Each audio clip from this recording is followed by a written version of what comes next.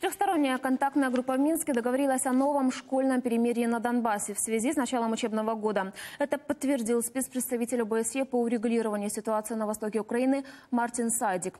На переговорах согласовали бессрочное прекращение огня с полуночи 25 августа. Впрочем, участники трехсторонней контактной группы так и не смогли договориться об обмене пленными. Боевики продолжают блокировать освобождение заложников. Они требуют возвращения 42 человек, которые не имеют никакого отношения к событиям на Донбассе.